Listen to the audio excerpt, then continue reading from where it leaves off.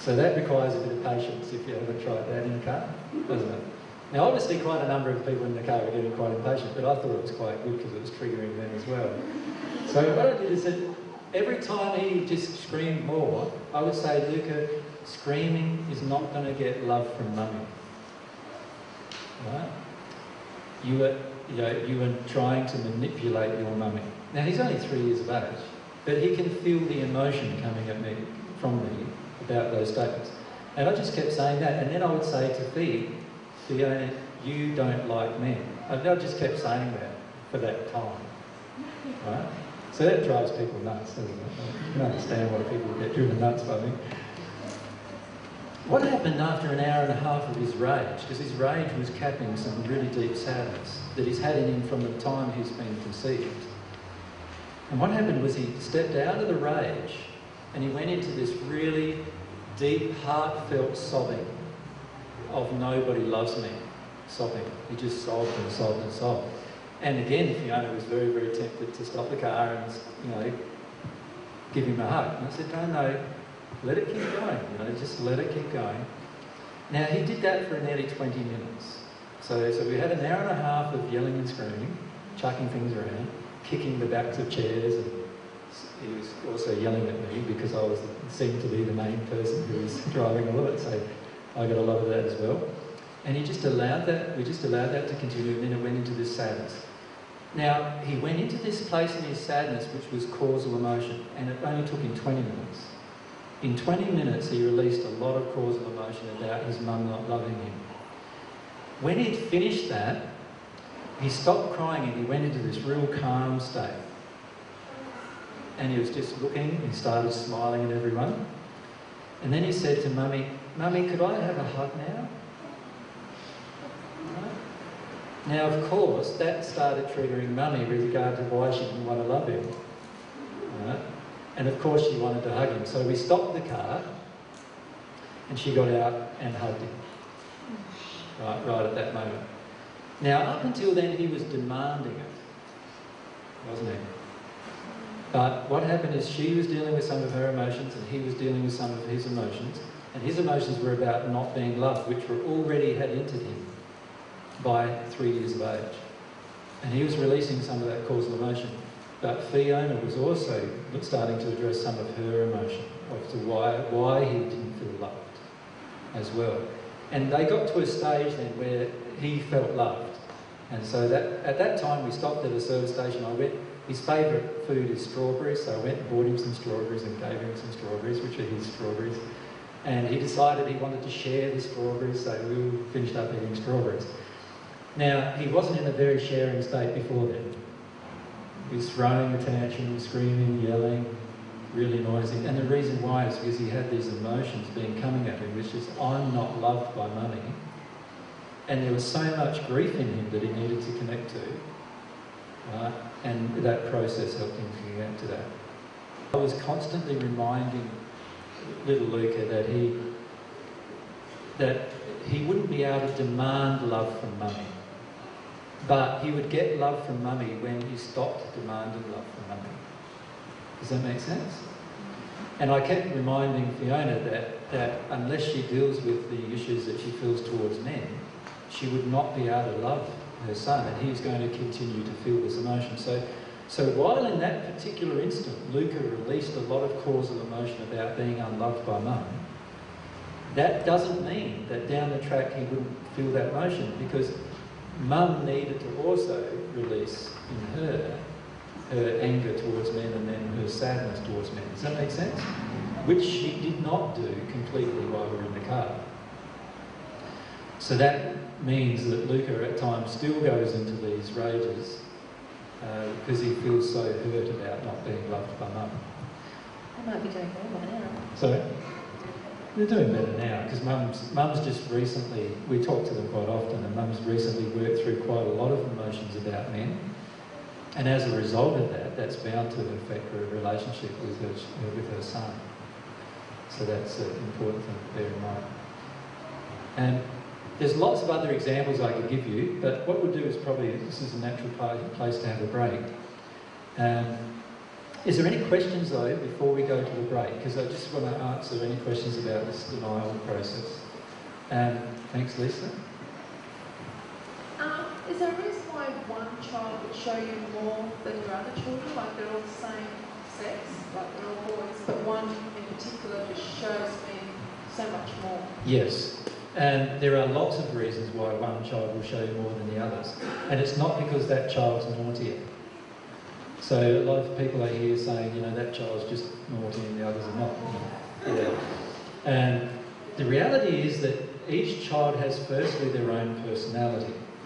So each child's reaction to the same stimuli will be different. Secondly, because of the different times that the children came into our life, they also have different emotional conditions that are, key emotional conditions.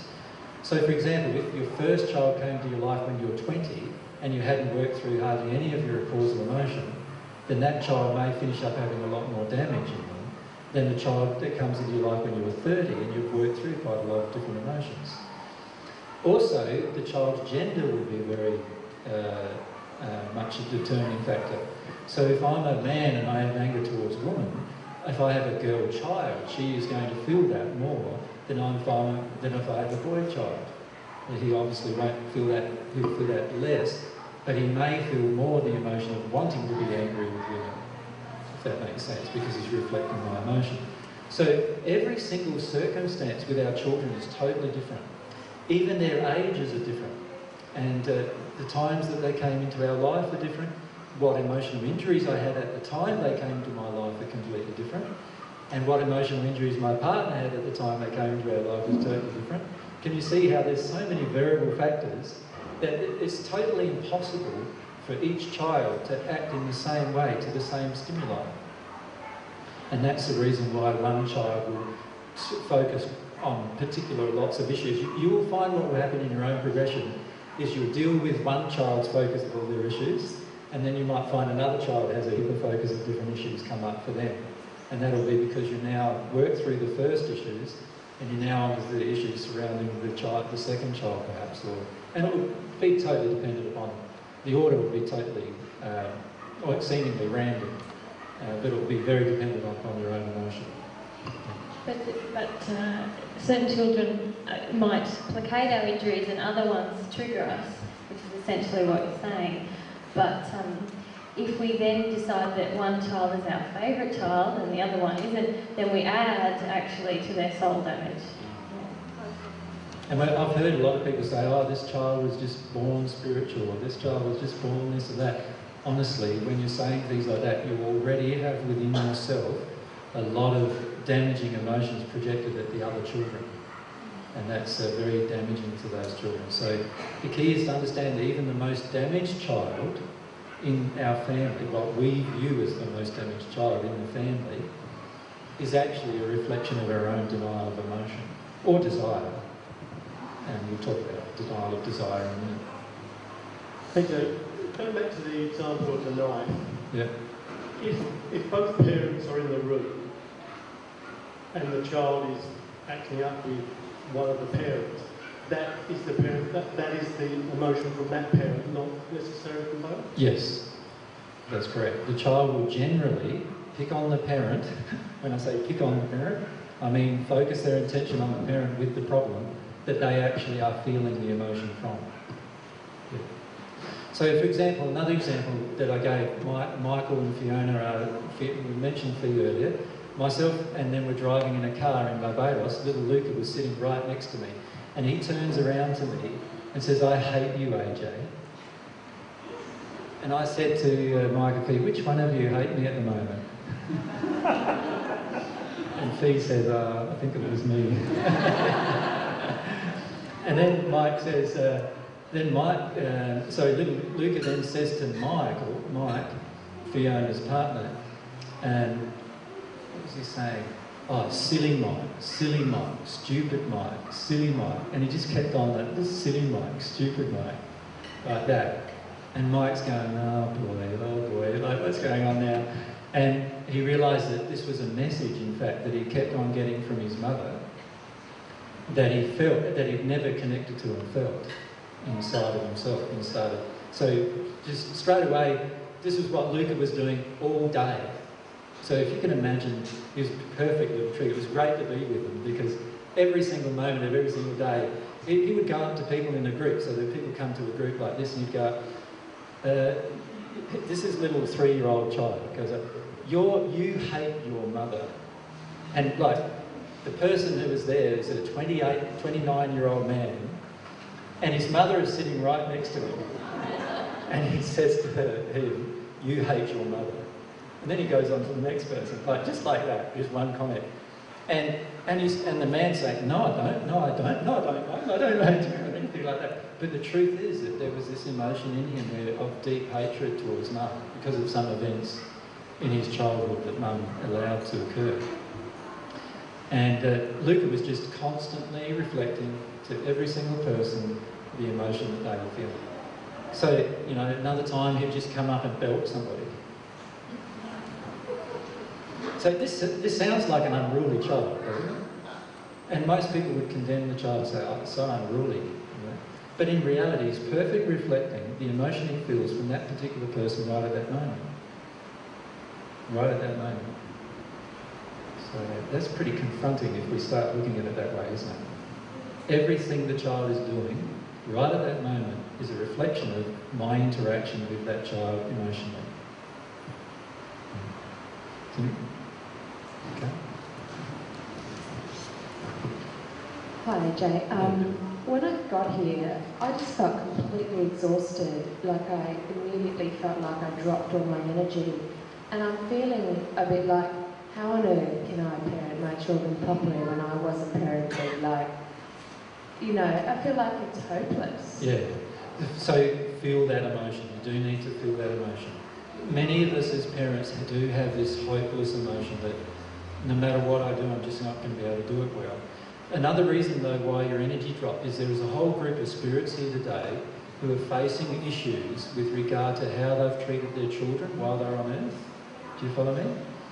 And that they're hearing a lot of what I'm saying to them and feeling more and more depressed, feeling more and more overcome. And many of you are feeling that emotion too as we talk about some of these issues, feeling more and more depressed and overcome with, oh, wow, like, wow, when does the news get better sort of thing. And the truth is that what we need to do in this circumstance is really long to God, pray to God about dealing with these emotions and also asking for God's forgiveness, right? Getting into a repentant state as a parent.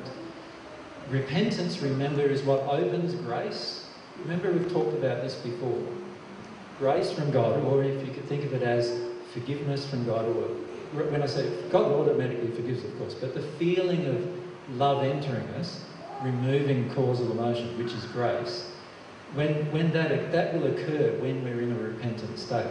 So if you feel bad as a parent, allow yourself to feel bad. Right? Don't shut yourself down and don't go into sleep mode and don't try to avoid it and run away from the issues. Just allow yourself to feel the emotion. And this applies to these spirits too. They need to allow themselves to feel, I was a bad parent, and direct that to God and sure, most of us have got no idea how we become a bad parent. Do you know what I mean? Most of us have no idea how we even became a parent, aside from the sex act. but aside from that, we've just got no idea what actually happened and why, you know, how we got these little children in our lives. And so most of us feel lots of confusion when it comes to parenting. The key is to allow ourselves to feel those emotions. So don't shut those emotions down within you when I first had to confront, obviously I have two sons, so when I first had to confront all of these emotions, I went through some fairly dark periods of my own progression. Just feeling my deep feelings of personal responsibility for what damage I'd done with my boys. And I spent a lot of time talking to God about that. A lot of time talking to God to, to help, asking for God to illuminate within me the emotions within me that created these problems. Does that make sense? Allow yourself to do that. I guess I take a little bit of um, hope from the fact that I know I can't do it by myself. Yeah. And I forget that I don't have to. Exactly. That's pretty good. Exactly. Yes. And see, this is this is the problem. A lot of times we talk about a subject where we feel a lot of deep shame or we feel a lot of judgment of ourselves, and then we get into this state feeling like it's all hopeless, But in reality, actually, the opposite is the case. Now that we're facing the truth, it's the most hopeful that it can ever be. The time that it's actually hopeless is when we're not facing the truth and we're not wanting to look at the truth and, and see all the damage of what we've done in our lives. When we face the truth, that's the time when we get the most assistance from God. And that's the time too when you'll really feel a lot of love flowing through you from God if you connect to God in an instance. Right? So that's why it's very powerful for you as parents to go through these things. Yeah.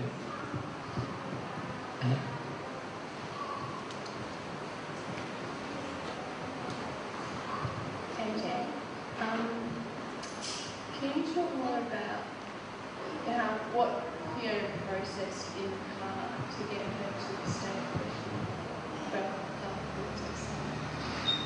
Well, she started talking a lot about um, how she felt towards men and how men had hurt her over her lives, over her life. So, so she didn't actually feel love towards her son. She just stopped feeling the anger towards her son.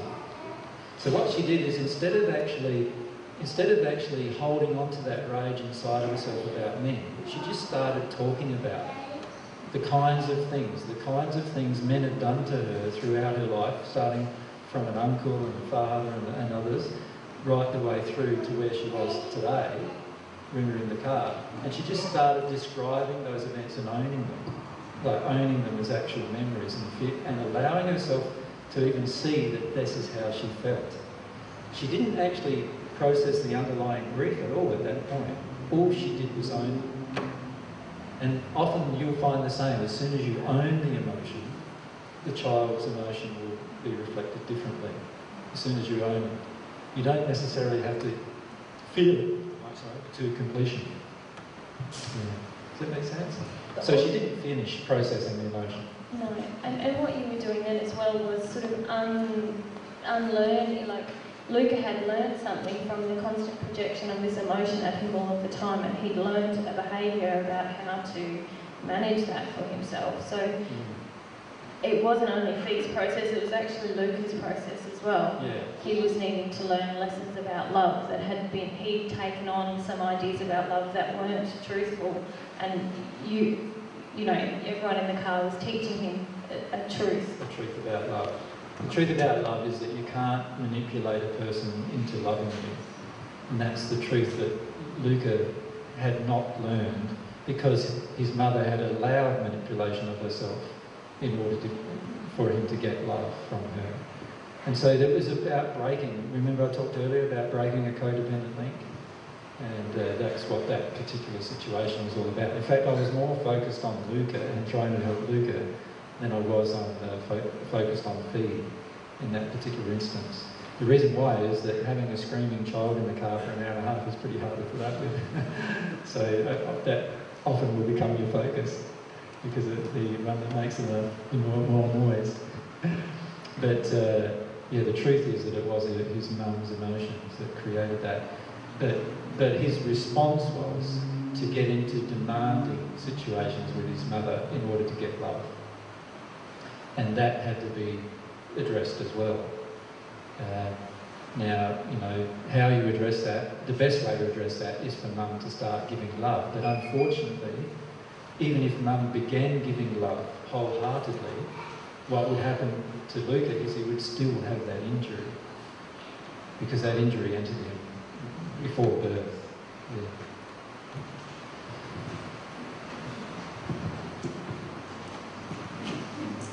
AJ, my youngest son um, has always been one of my biggest triggers. Yep. And um, speaking about how if you don't feel it, the child will feel the emotion, the child will show you. My son, at about four or five, was he would go into great rage. Mm-hmm. And my emotion that I wasn't facing was my fear of angry men. Yep. And once I started to recognise that I hadn't worked on it yet, but even just recognising it, Yep. he seemed to come. That's spot on. And quite. that's exactly what Fee was feeling too. She was so afraid of angry men, she would do anything to make the anger stop. And so, so her son had actually learnt that all he has to do to control mummy is get angry. and he's got mummy under his finger. And he literally did have mummy under his, his thumb. And, and the same goes with you. Yeah, Yeah. spot on. Yeah. Any other questions? Want to have a break? Let's come back in about, I don't know, half an hour, 45, shall we?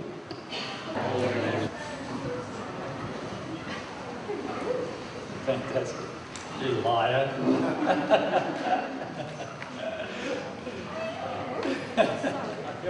Just joking with you.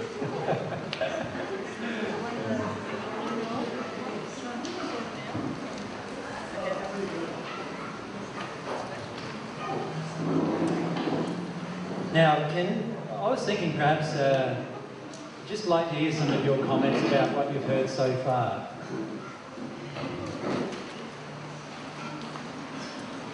It can be negative. And maybe Dennis, can I start with you? And then, because the mic's closer to you. And then...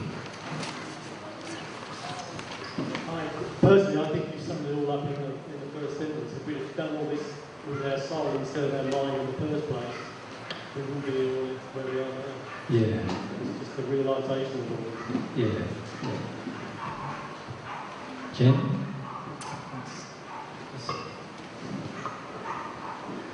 It's all true. And um, it's just wonderful to finally release a lot of this. I just.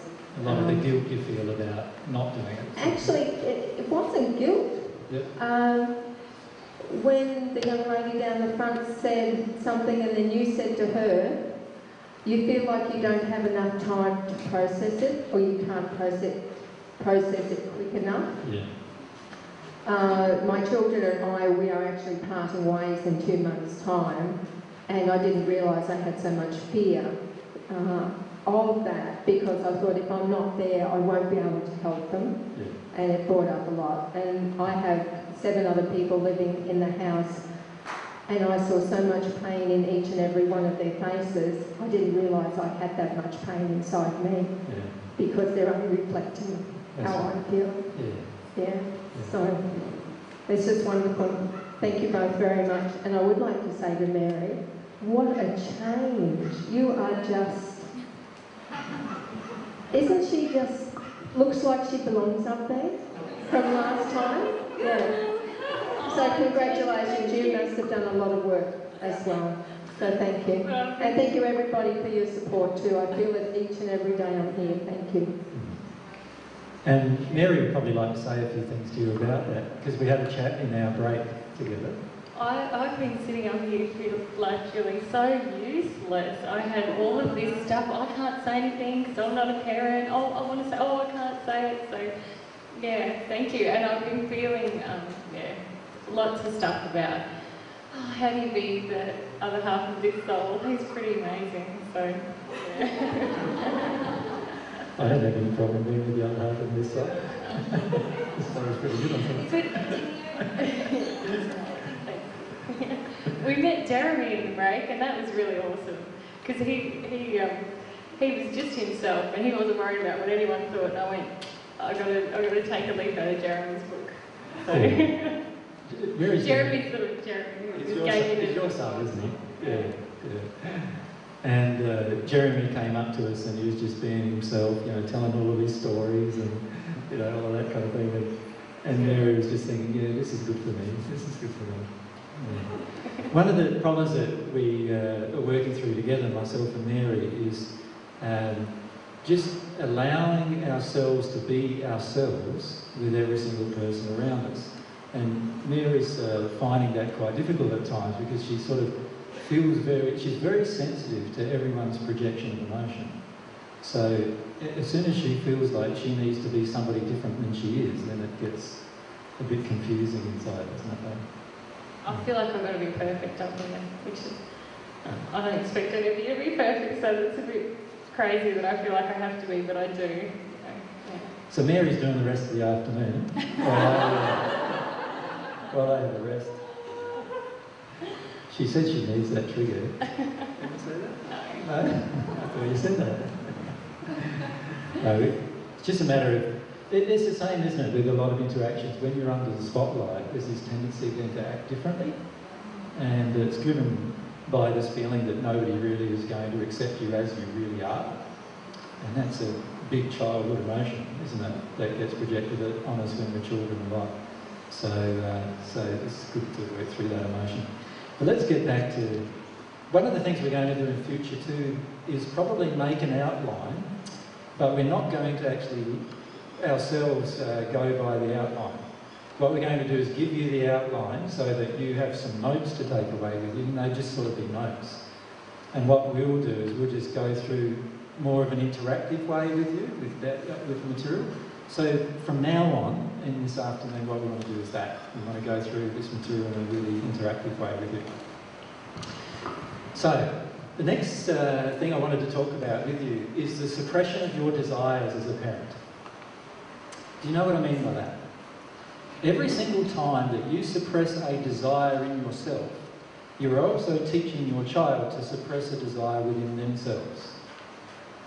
So let's get to uh, some of the desires that are really tricky desires in terms of most of us have some shame or guilt about, and that is our sexual desires. Every single time you suppress your sexual desires within yourself, you're also suppressing the sexuality of your child.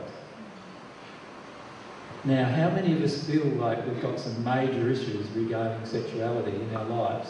How many of you feel that? Like, like, like I've had lots to deal with uh, through mine.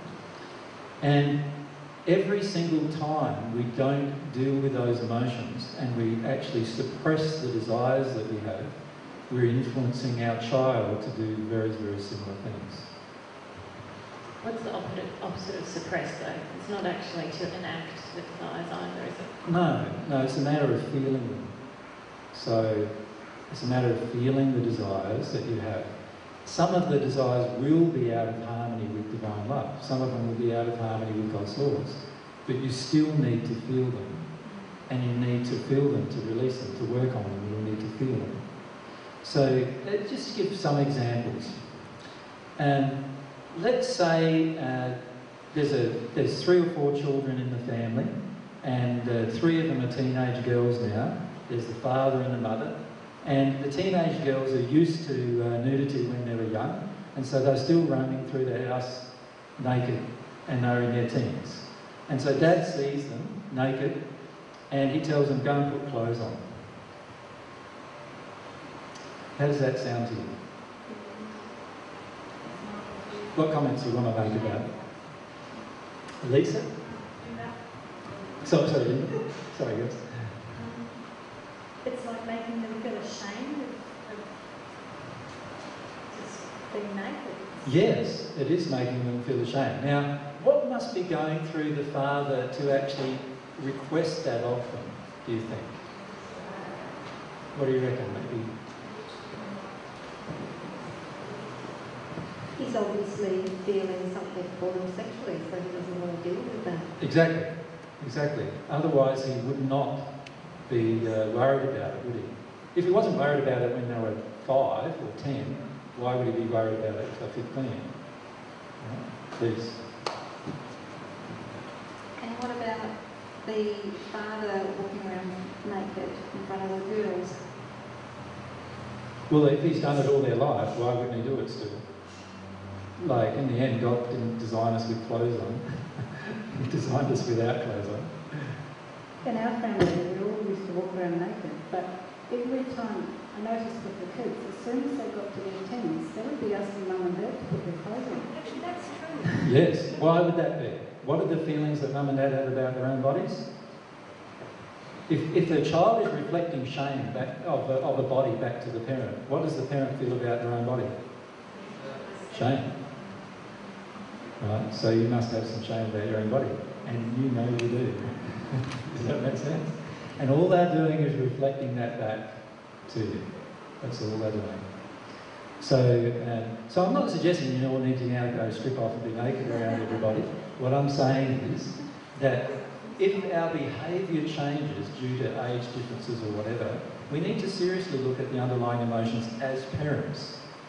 If our children's behaviour changes, like throughout any period of our lives, we need to look at our behaviour as parents. Our children are our law of attraction.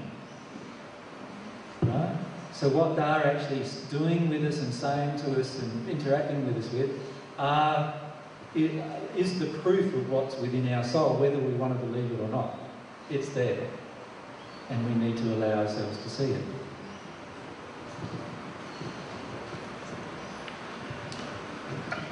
Um, since I've been, since my daughter was young, she's always buttoned me up and told me to put my clothes on and and I'm just wondering, is that because I'm in such denial because I don't feel that way? Yes. Yeah, so you're in denial of an emotion that you actually do feel inside of yourself, but you've intellectually skipped over it.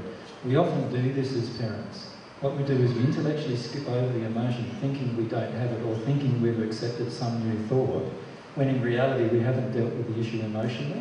And our children will perfectly reflect back to us the fact that we haven't dealt with the issue emotionally. Yeah. So whenever a child does that with you, perfect thing. Straight away, obviously I haven't dealt with this. Now, often what we want to do as parents is just say, oh, I've dealt with it. I've dealt with it. It must be the child. It must be something wrong with the child. No, no. It's actually still going on in you and you've just suppressed it. Really important to see that. Any other comments about that? Uh, Linda? Yeah, I can see that with my eldest daughter. She sounds similar to this lady's daughter. Yep. Um, like growing up and changing, and she's really not confident in it, and she's wanting to cover up and telling me all the time, put some clothes on or go get dressed, and you know, and I know that's how I felt as a child, and she's mm. showing it to me all the time. Yeah, it's how you still feel actually. It is, but Yeah. I still have a lot of it, but yeah, Yeah. just not wanting to deal with it. And I Yeah. know here that that's, I hated it, I hated, you know, That's everything it. changing. Yeah. It's just so obvious, you know. Yeah. Issues of sexuality are very important to deal with as parents because they control how our children eventually grow up and how they interrelate with the opposite sex. And they control even the quality of the relationships they have with the opposite sex. So they're very, very important emotions to deal with. And when we have the sex and sexuality discussion, we confront a lot of those emotions that you may feel within you. The, um, the thing is with the children, is like how many of you, if, if you walked up and saw two children playing with each other's private parts, even just calling them private parts is interesting, but they're playing with each other's private parts and it's all in public, how would you respond? Be honest, how would you respond? How have you responded when you found this happening with your own children? Jen? When my kids were little, yes, I would have said, oh, you know, don't do that now. But now, uh, with the grandchildren, I can see that that was something that I suppressed in them that was coming from me Yeah, because of my problems with my sexuality. exactly. So I am changing that through my grandchildren and Yeah. hopefully it'll get better. Yeah. So, so when your children were children, you were uh, you were feeling like shutting them down straight away. Yeah. How many of you have done that? Oh, it's okay to do that, or how many of you even said it's okay to do it? But oftentimes we say it even, but what are we feeling? Like we're saying, oh, it's okay. Inside we think, don't do that, don't do that in front of people, right? Inside there's a feeling that's totally different. You agree? That's often what's happening inside of us. Now, now, when we have that feeling, that is the suppression. Here's our pal Jeremy, he's come up to join us. He's decided that he, what he wants to do is that you wanted to draw everyone a bit of pictures, didn't you? Yeah, I think that's what it is. That we just we talked about this during the break. And we, so he's got his scissors. So some of you will be getting little cutouts, just like we got. Yeah. So the key with all of the key with all of our interactions with children sexually is we need to make sure, obviously, that our desires sexually are pure. If there is any projection whatsoever on our children, that's going to change things totally. A lot of the projections are of shame. So you know how you feel shame about your own body, for example, or shame about sex, or you know if your children come in and in, in on you when you're making love, how do you feel? Like there's this great big shame, huge, huge uh, reaction to cover up, and uh, Sometimes we may even yell at the child, get out, get out, what are you doing in here? Whatever, you know. Now, all of those emotions are being projected at the child. What, the, what is the child learning? They're learning to shut down sexuality, sex is bad. Speak up. Speak up. To be very private and secret about sex. is what they would learn. Yeah. so you've learned that, you? Yes, I have. Which is why I'm not being vocal in this discussion. Yeah. So that doesn't mean that you would be, um, what do you call it, um, promiscuous or when you when you show off your sex, exhibitionist. Um, so we're not, I'm not suggesting that because that's driven by a desire for other types of attention, isn't it? That's driven by a desire to be loved, desire to be wanted, a desire to be thought of as fantastic, and all those other things which are also in disharmony with love. So the key is to focus on what am I feeling inside of myself emotionally with regard to sexuality. Because whatever you're not feeling inside of yourself is what your child is actually feeling. And shame, like shame about our sexual organs or about the way we look as a woman or a man, that's definitely something that gets passed on to children non-verbally. Like, Yeah. yeah. Oftentimes a child will have some kind of problems with their sexual organs. Like lately I've uh, had a fair few uh, mothers talk to me about how their daughters' vaginas are all swollen and, and sore all the time. And, and sometimes their daughters have thrush or cystitis, but they're not having sex or anything. They're only seven or eight years of age. And things like that. What's going on? And what's going on is that they're acting out, their body is acting out all of the mother's shame about her own sexual organs and things that have happened in her own life, and usually to do with abusive issues uh, surrounding sex as well. That's what's actually going on. So look really seriously at those issues uh, with regard to sexuality and how those things are being projected at the child. Because when you don't own it, the child experiences it. So remember, every emotion you deny, the child will act out and experience right down to physical response. Every single emotion. That's pretty powerful, isn't it, to, to understand? That also is about the suppression of desire, too. So we want to talk about desires. Yeah. So the other important thing we wanted to say about that was um, when people are, if you live in your passion, then you teach your child it's wonderful to be in your passion. If you feel that, oh, I can't be in my passion because I won't have enough money, or I really have an obligation to this family, or then automatically the child is learning it's actually too difficult to fulfill your dreams, it's too difficult to live in your in your passions in your life. So often we use the excuse of having a family to not follow our dreams or live in our passions, but it's actually quite damaging to the soul of that child because they learn that they can't do that in their own life. Mm-hmm. So how many of you feel like right at the moment the work, job you're working in is not the job you want? How many of you feel that? So about a third maybe of the audience, right? Okay. Now if you've got children living with you with that feeling, you are actually teaching them to do jobs they don't like. You have to deny yourself for money.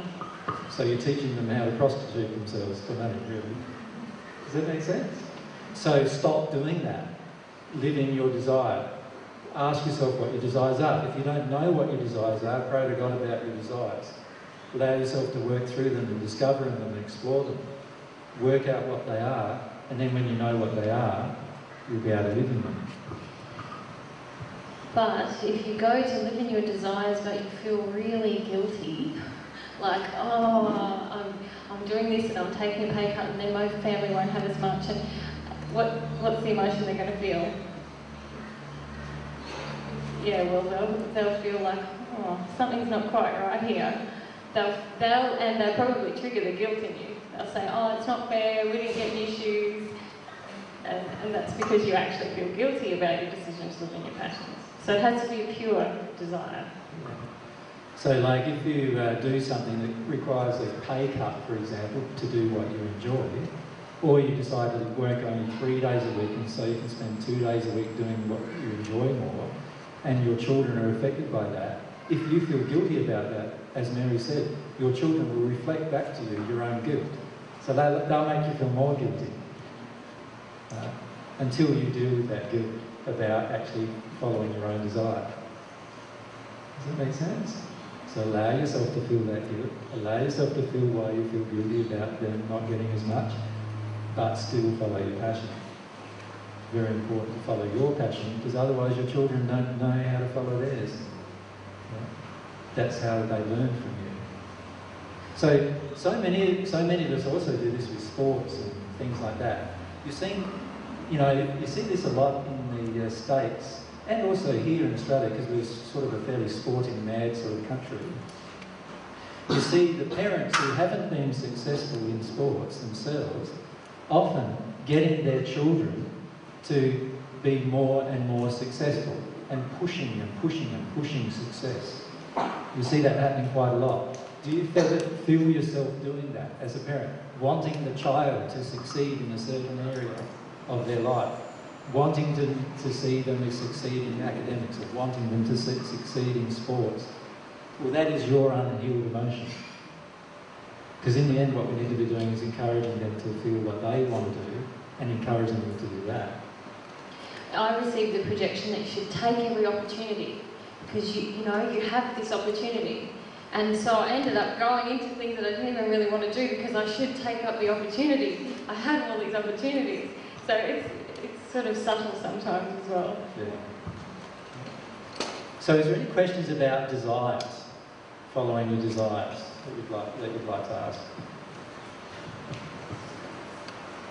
I'd like to revisit the, you know, when a child comes in and you're making love.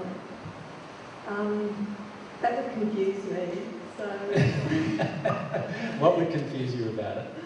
well, I don't know that I'd feel comfortable continuing. I didn't say you have to continue.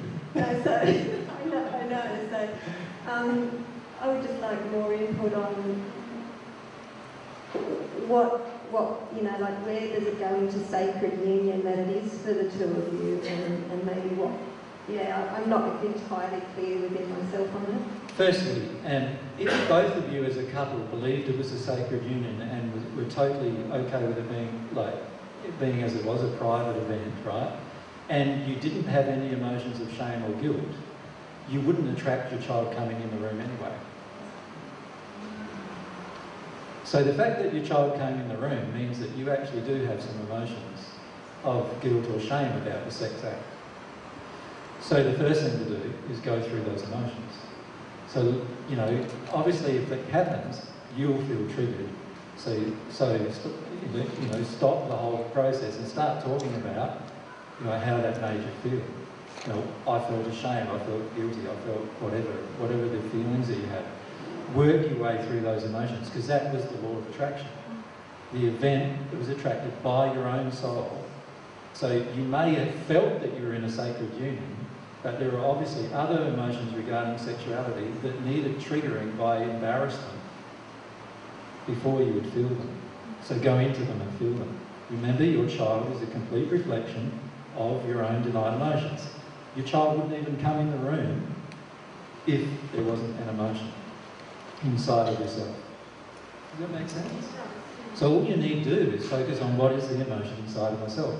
If you think about all of your parenting in this way, it makes parenting quite simple when you think about it. Anything that happens that I'm distressed about with my child, there's an emotion I've just denied. That's a pretty simple thing, isn't it, to remember? Don't? And if I just keep remembering that, and I keep remembering that with every single transaction, I'll work through all of the emotions it exposes.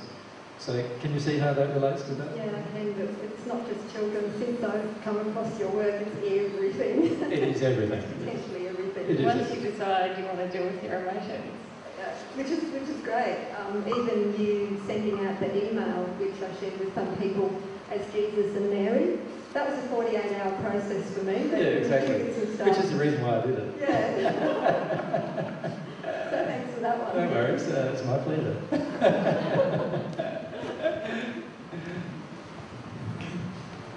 I wanted to know, like, if the child reflects the parents and one parent isn't there, um, at what point do you feel you can stop if you don't know how much is yours and his, and do you just keep going and going until the law of attraction stops, even if it might be his?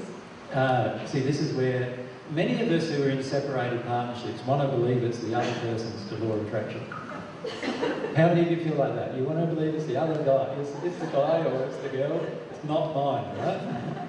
The truth is that it's that if it's happening with you and you have an emotional response, it's yours. So look at that every single time. Yeah. You don't put that off. Because you put, in the end, all it is is you're just saying, oh, I'm a bit ashamed of what's in me and I want my stuff to stop at some point. Well, your stuff will stop as soon as the law of attraction stops bringing it to you. And the law of attraction will stop bringing it to you as your soul condition changes. That's the, remember our se- session on the law of attraction. That's the beauty of the law of attraction, is it tells you the truth every single time. Which probably brings us to our next section, which is about the child's law of attraction. Mm. So what creates the child's law of attraction? The child's law of attraction. Um, everything about the child's law of attraction is really your law of attraction. But of course, as the child grows, it starts gathering its soul condition. And as its soul condition changes, it, it changes. And as, as it, its soul condition changes, new law of attraction events are brought upon by its own soul condition. So in the end, if the child is in its teenage years, its law of attraction will be a combination of yours and the child's. Does that make sense? And it, but, but from then on, right the way through its life, it's going to be a combination of yours and the child's law of attraction. So if your children are 60, 50, 40, and you're 70, what's happening between you and your children are still, is still a lot about your own law of attraction and the damage you've done with your own children. Because their free will choices will be influenced by their soul condition, which is a fairly direct result of your own soul condition. So there'll always be a link. Hmm. So if that's the case, when something happens to my child, what do I need to do in every single circumstance? Exactly. What emotion inside of myself am I denying? How do I feel about that event? So ask yourself firstly, how am I feeling about this? So going back to the one with the child walking in on you making love, how do I feel? Shamed. Like, or you may feel like you took out time from the child that you shouldn't have, or something like that. You might have all sorts of different emotions that might have caused that to occur. Allow yourself to feel them there and then, just like a child would. I don't know if Peter minds, but I was talking to Peter the other day and he's having a situation with one of his adult sons, but actually the emotions that his son is feeling are triggering a lot of emotions for him about his mum. So that's a fair comment, Peter? So even an adult child and the feelings you have in the interaction with an adult child will be about your own law of attraction and the, and the interaction between that and the child's condition.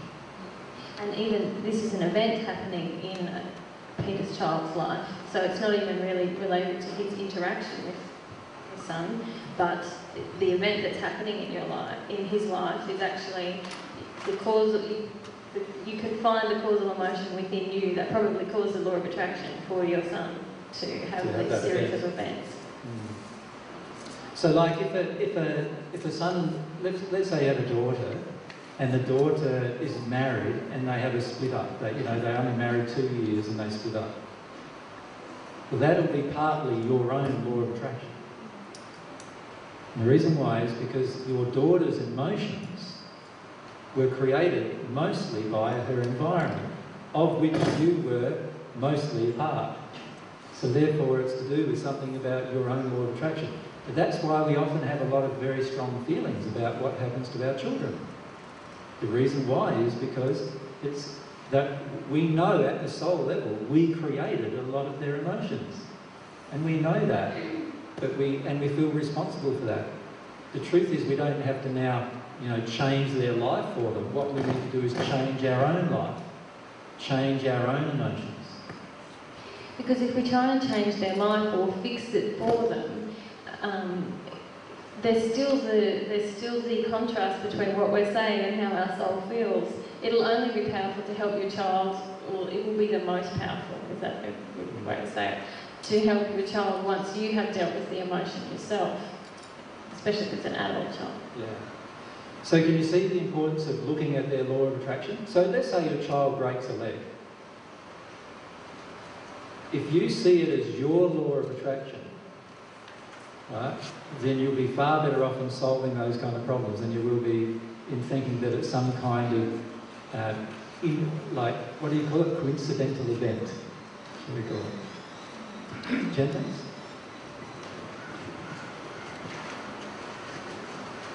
My son did break his ankle once, so if I had gone and said to him, How are you feeling at the moment? You know, what are your feelings at the moment? Would that help me to get in touch with the feelings that I had if I wasn't aware of them? Probably not. Because the issue is not what he was feeling, but what you were feeling at the moment. So how, that? yeah, so how would I get the connection if, say for So instance, were say you- for instance he was at school and I was at work and he broke his leg Yep. And, you know, an hour later I'm with him and that sort of thing and I've forgotten all about what was happening for me an hour ago. Yep. So how do I get in Go touch with into that? the event that you can connect to, which is the fact that you're now patching up a child who's broken his leg. You're now sitting in hospital waiting for the doctor to come and set his leg, and you're going through all of these different emotions. The first thing you do is tune into all of those emotions, all of the feelings of responsibility that you have, and all of those other feelings that are all coming up. Go into those emotions rather than trying to run away from it. If you're feeling panic, go into the panic and the fear that you feel. So how many, how many, if you, if you had got a phone call from your school saying, please come quickly, your child's hurt themselves, how many of you would go into this terrible panic? Right? Feel that, because that's one of the events that it's triggering for you. Does that make sense? Feel the responsibility, feel the damage. So go through all of those first. Then, when you've gone through all of those, a lot of times what will come to you is what you were feeling probably at the time the event occurred. Does that make sense? But if that doesn't, then ask the child when did it occur. But you don't need to ask the child their feelings so much because it's to do with your feelings. So you remember the incident, uh, incident I re- related before the break, where the lady had this was relating this experience with her dad just before her dad died, two days before her dad died. She visited her father, and and how the daughter was crying. Remember, I was relating that experience. She didn't have to focus on what was the daughter feeling, because the daughter was feeling quite obviously sad. The daughter didn't even know why she was feeling sad. Right? What she needed to do is look at what within herself, what she just said, what she just stated that she wasn't connected with an emotion about. So quite often I've been talking with parents, for example, we've been sitting down together, like around in a small group, you know, maybe 15 people or so, and we're talking, and I'll start focusing on one of the parents' emotions that they've asked me some questions about. And all of a sudden, their child, who's outside playing, rips out through the door, runs into the, jumps on their laps and starts pulling their ears and pulling their hair and like, what's going on? She said, oh, he's so distracting. He's so distracting, right? And I'm saying, I'm sorry, but you do not want to hear this conversation. That's why he's distracting you. He, he felt her emotion. Her emotion, I want to get away from this. I want to get away from this somehow. You know, please, someone come and rescue me from this conversation. And so him, who's outside, comes running in and jumps on her lap and rescues her from the conversation. And then she blames him and says, he's so distracting. But in reality, she wanted to be distracted. So quite often I say, right at, at the moment, you wanted to be distracted. You feel your emotion. Your emotion was you didn't want to hear what I was saying to you. You opened your mouth and said, AJ, please tell me this. And then right at the same time, the feeling was, I hope he doesn't tell me anything because I'm scared stiff of what he's going to say, right? and so that emotion got projected, and the child is the perfect response every single time to the emotion we deny in the parent, as a parent. Do you see what happens pretty constantly? At that Um, AJ, lately when my child, 11 year old, he's been having, getting upset about something, he just seems to run off, or he goes off to his room crying, or whatever has happened. And something, I just don't, I'm not really feeling any resistance, or I don't want to change him. I'm really happy that he's gone to cry about it. Am I in denial? Because very quickly, it just passes. He doesn't go on and on like he used to. Um, and I'm just feeling very connected to him and what he's feeling. Yep. But am I just in denial with actually what is happening? What's actually happening in your son's case, he's 11, isn't he? You said? Yep. What's happening in his case is because you've released some emotions, uh, particularly about men, um, over the past few months, uh, over the past year actually, you've released quite a lot about it. He's now actually just allowed to experience his emotions that he's held, that, that have been within him by himself. The fact that he's not coming to you and doing it with you means that it's not to do with something that's still within him. It's actually something that's now just within him that he will need to release. And it'll be quite rapid for him to do that because he's so young. He'll be able to release it within 15, 20 minutes, half an hour, and it's done. And he'll feel quite differently afterwards. So the key is just to allow that to occur. And if he was personally reacting with you and crying at you and wanting hugs from you and all those kind of things in that process, then yes, it would be something to do with your own feelings that you're denying or shutting down. But the truth is, in your situation, you've been quite open in dealing with some man issues and things like that over the last year, and that's actually enabling him now to actually just release the emotions he felt of injustice and things like that about being projected upon as a male. And so he's doing that quite naturally, and he's doing it quite privately because he doesn't need to do that with you. You've actually made it quite easy for him to deal with those emotions, which is great. Yeah. I forgot to pick him up from school on Thursday. Right. He has to carry this enormous instrument. Yep. And he, and he cried. And then I remembered, you know, 20 past three. Oh my God. And I'm driving up the road and there he was carrying this big, enormous thing. And he said, I waited 15 minutes for you, you know, carrying- this thing. And I just thought, gosh, I should be feeling really guilty. And I just felt really happy inside. And he was so upset the poor thing. So I just wanted to check, was I denying what I've done to him or... If you felt guilt, you would have been denying a deeper emotion. If you felt shame as a parent, if you felt angry, you would have been denying. If you felt any of those kind of emotions, you would have been denying. If you cried, it would have been the release of a causal emotion. The fact that you stayed happy means that probably you actually created that event to help him trigger one of his emotions, unknowingly to yourself. And we often do this at the soul level. So what I find myself doing in interactions now a lot is I'll just say something to somebody. I don't mean anything by it, but it just happens to be exactly the thing that triggers them um, into an emotion. And I felt quite happy and I was fine, but, but they felt the emotion. So you'll find the more you clear away your own emotions, what actually happens is you start responding like a child to other person's emotions. Does that make sense? So you'll get to a point in your own progression where you will be like a child in the way you respond to everyone's emotion. And that will trigger everyone around you just like your own child does with you right now. And that is, uh, and that's the place where I was in the first century, in that place. Just automatically just doing all these things without really thinking about them, but everyone around me was being triggered by all sorts of different things that I was doing. Does that make sense? And that's what's starting to happen with yourself. That's actually a very good sign that you've released quite a lot of emotion. So that's positive for you, isn't it? Yeah. Dennis, thanks. And then Dennis, right. Does that mean there was heaps of disciples everywhere? In what way, When, in the first century, when you were going around treating all these emotions? Yeah, that, basically everyone around me who met me finished up getting triggered in some way. Obviously anger was the dominant emotion in most of them, but uh, there were all sorts of emotions being triggered all the time. And uh, none of that obviously is recorded in the Bible very much, although there are instances that are recorded in the Bible about the anger. This is really annoying.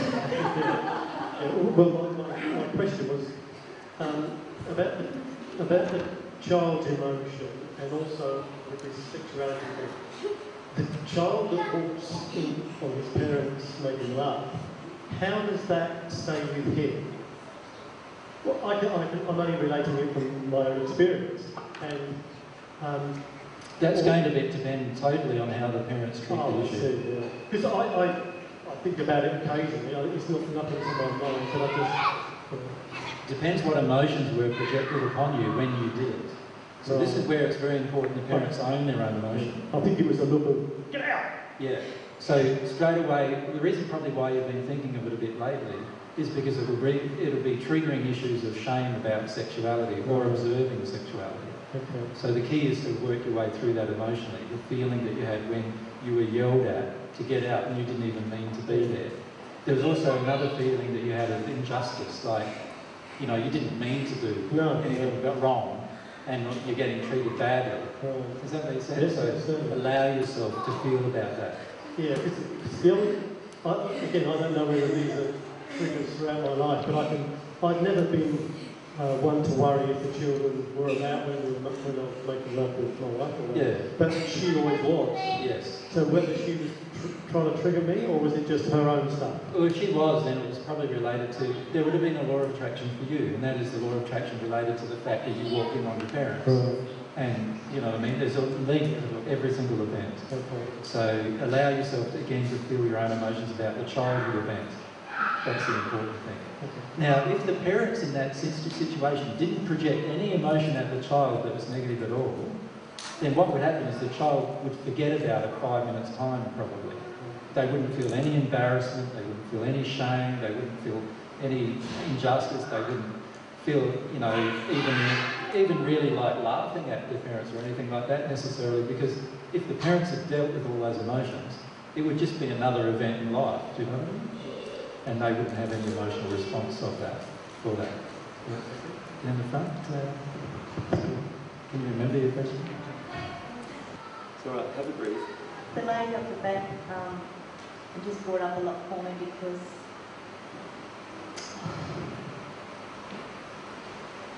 It's okay, you can come back to that later. Feel the emotion now. It's good. It's good. Thanks. Right behind you. I'd like to know when I don't have to have in my life my dad's law of attraction for his life. When you have released all of the emotions create, created by that link, you will no longer have a parent's law of attraction. So what that's telling you is if you're getting very, very similar things happening in your life as your dad has happened in his life, right, then that's telling you that the emotions inside of you related to your dad are not healed yet in those particular areas. And the key is to allow yourself to feel about them and process them. When you heal them, the, the linkage between your father and yourself will be broken, but also what will be broken is the same law of attraction. You'll have a completely different law of attraction. Lisa, thanks. Oh, I just thought I'd you know, I've just come to realisation. Yeah, You know awesome. when, um, when your children injure themselves, like I've had my older son have an accident on his bike, Yep. it'll be like two hours before he gets home, hasn't shed a tear, looks at me, and totally falls apart. Right. So I've just realised that would have been all my stuff. And he feels and he cries, so he's showing me. And Yep. is that right? Totally right. And also, he can only feel his emotions when he's in your company. Lots of good Harleys out there?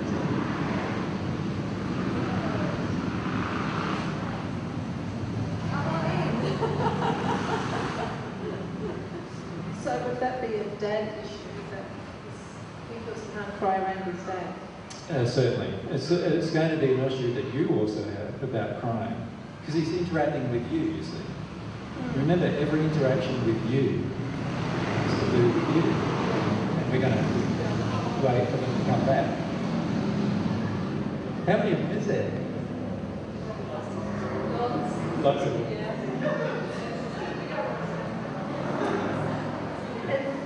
Come around for a cruise. And I thought the other thing that you were saying about sex and walking in on your children is a lot of parents have a fear of actually having to talk to their children about sex and maybe explain what they're doing. Very true. And it's a major problem, isn't it? Most children grow up. How many of you grew up and when you had your first sexual experience was the first time you actually learned about sex? You know, that's probably happened for the majority of people, in fact, of our, our age bracket. Um, so, yeah, there's obviously a lot of emotions involved in that as well. But just remember that every single time your child interacts with you, if the interaction is with you, then it's to do with your law of attraction. So if he goes up to mummy, then it's mummy's law of attraction. If he goes up to dad, it's dad's law of attraction. Does that make sense? That's what's happening at the time. Any other questions at all? Um, I've just had a, a memory about my oldest son when he was 16. He had two pretty major events happen within two weeks of each other to the, to the day. The first one was um, he got hit by a car. He'd been smoking dope and was crossing a major highway and his friend called out to him and said, don't go. And he got thrown over the top of the car and his friend ran all the way home to tell me.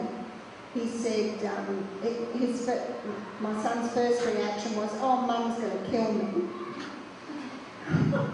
He was already nearly dead.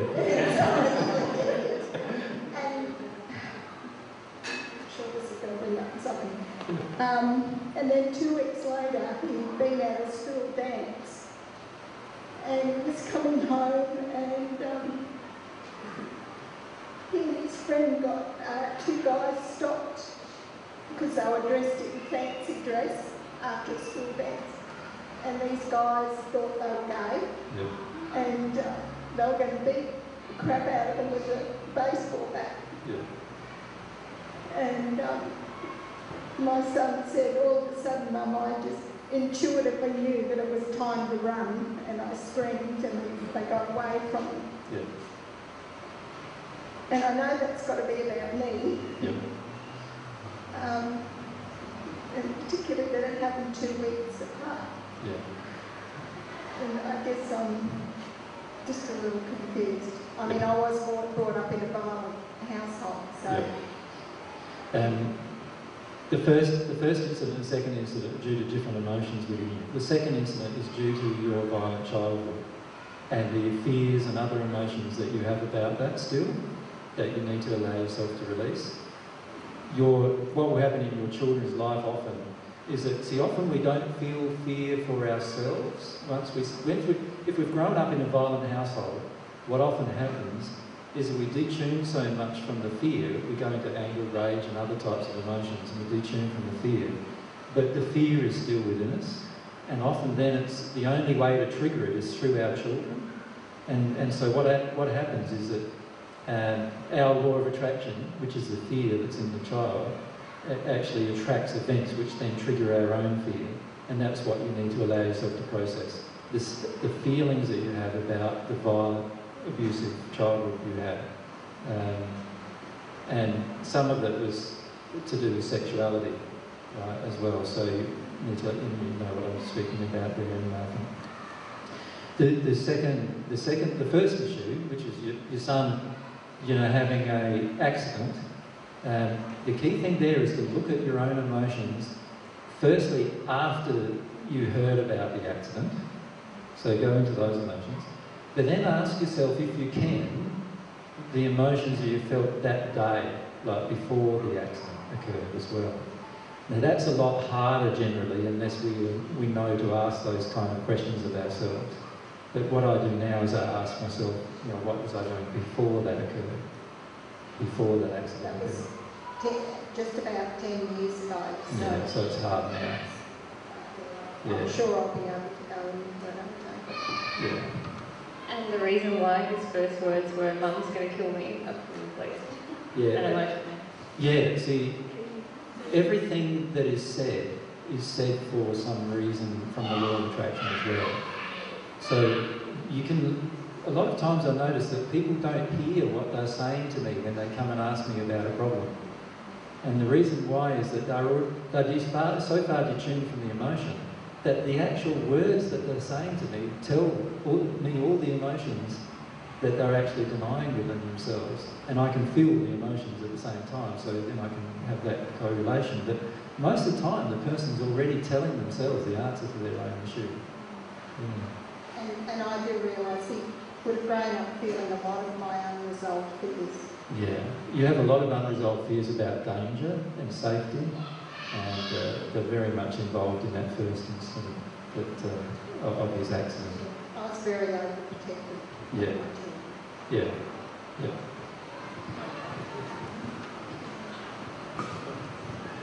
I was just going to ask if everyone was clear about children's law of attraction because AJ gets asked that all the time. Like, what's what's their law of attraction? What's the parents' law of attraction? Is that clear to everyone now? Basically, pretty much everything's your law of attraction as a parent. Now, the only proviso to that is that obviously, as the child grows older, what's your law of attraction is how they relate to you. So, for instance, if your child's 20, relating to you in a certain way, that's your law of attraction. But if they're relating to other people in different ways, that's a combination of what you've created in them and their own decisions, which is not just your law of attraction, but it's a combination of yours and theirs, if that makes sense.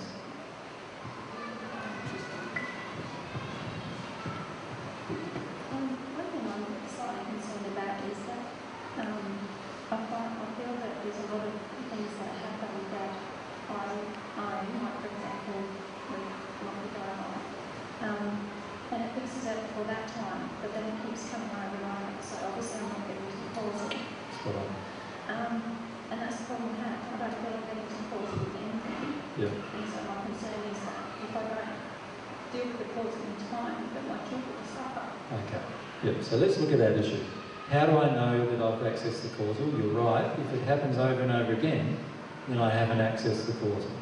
However, that doesn't mean that I haven't accessed certain aspects of the causal in each event. See, a lot of times what we often do is we think, oh, if it's happened again, then I mustn't have dealt with it at all. But what I've noticed in my own processing is that I will deal with one issue about the causal, but be too afraid to deal with another issue about the causal. So let's say the causal event may be something that happened in a childhood life. I'll give an example for myself a couple of days ago, what I was dealing with was um, I, I realised, I had this realisation at soul level that I didn't want to be loved. I was thinking before then that I did want to be loved and nobody could love me. But then I had this realisation the fact that nobody loved me meant that I didn't want to be loved. And then I had to allow myself to just ponder about that pray about that for a bit. And then after I did that, I realised there was a series of five or six events that came to me from what would be the equivalent of my childhood for you, but it's my first century experience of events where, where somebody loved me and they died as a result of loving me. And then I had lots of memories about the millions of people who've been tortured to death because they loved me. And, and all of these different feelings of responsibility about that. And then I had some feelings about, you know, what happened to Mary and her life because she loved me. And, and went through lots of different emotions there about that as well. And what I realised was that there was this one aspect of wanting to be loved that I, I was dealing with before then. Then I realised that I didn't want to be loved. And then there were so many facets to that. Like there were just so many, like, and still are. I've got some more coming up now still about it. And so far I've dealt with nearly 15 or 16 of the different facets of not why I don't want to be loved. But I can still feel there's some more there in me, just, just some events and memories that occurred. So, so my law of attraction is not going to change. I'm not going to get loved completely, right, until I deal with those completely. But um, so the law of attraction will keep bringing me situations where people treat me, treat me unlovingly until I deal with them completely. But that doesn't mean that I haven't dealt with some of them. Right? So just be careful about the judgment that, oh, I mustn't have dealt with any of it, because there's a chance you have. But second thing I'd like to say is that if you have the same repeat, repeating events occurring, then yes, there is a possibility that the causal emotion is not being addressed. The question you need to ask yourself is, when I feel, am I feeling about the current event? Or am I feeling about a childhood event? If I'm feeling about a childhood event, there's a high likelihood my causal emotion is involved in that event. If I'm feeling about the current event, then it's only an effect emotion. Does that make sense? Just- I find if I can't remember a childhood event, then I just ask myself, is the emotions I'm feeling childlike or are they adult-like? Exactly. So if you have an adult-like feeling in your experience of this emotion, then it's highly likely you're not getting at the cause. If you're having a childlike experience in the experience of the emotion, you may be getting at the cause. Not, not necessarily, but you may be. When I say maybe, a lot of times there are blockages to the cause at the child level, and you do need to deal with the blockages to the cause. So, block, my blockages to the underlying emotion that I had there, I wasn't feeling loved. And I didn't recognise that it was because I didn't want to be loved. Does that make sense? That was the big thing that I couldn't recognise. So I kept getting events where I where wasn't being loved, crying about not being loved, right? But not recognising the truth yet that actually I didn't want to be loved because everyone who'd ever loved me finished up dying or being tortured to death because of it. Do you follow me? So, um, what I'm saying, I suppose, is that oftentimes our, you know, we might be crying about a childhood event that we think is causal, but actually the cause is actually just underneath that. And the key is to pray about that. If you know that it's happening regularly, just pray about it more and allow your law of attraction to show you that it might be something deeper again. And I've had a lot of those kind of flip side emotions where I wanted to be loved and I was wondering why I wasn't loved and nobody was loving me. Thinking, and I was thinking that it was because I was feeling unlovable, that actually it's not because of that. It's because I felt like I don't want to be loved, because if I'm loved, the person who loves me, a deep feeling of responsibility for their life was the actual cause. Does that make sense? You may find that flip side type of emotion inside of you quite often.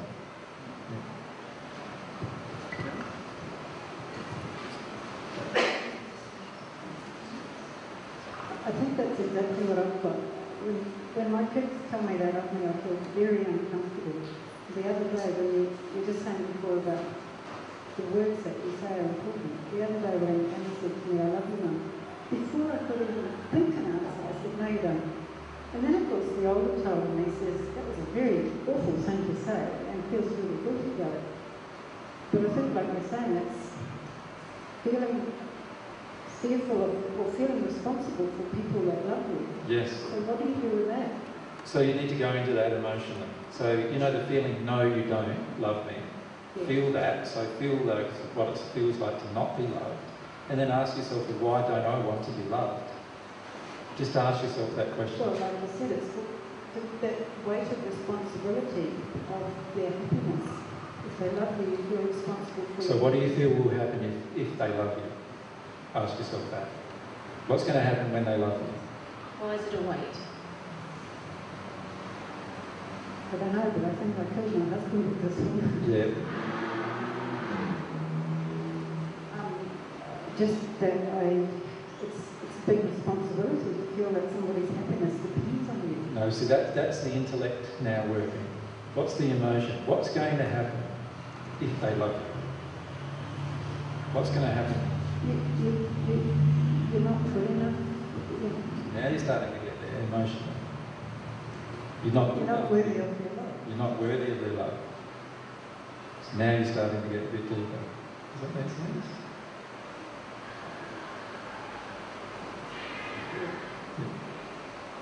So keep going deeper than that. If you want to, now, here and now, you're connecting to it, Karen. You may as well do it. I draw a blank when I try to get places. Yeah, because you, you, you go into this place emotionally of, of tuning away from your sadness. So you've taught yourself a lot to get away from causal sadness.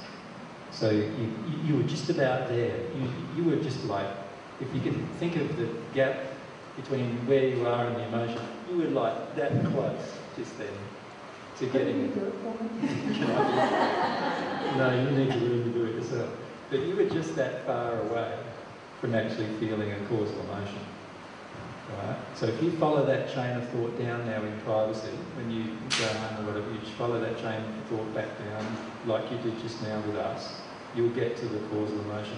And your daughter was a good trigger. She's just reflecting back at she, she's saying, I love you, mum. It's just a re- reflection back at you of triggering some of these emotions.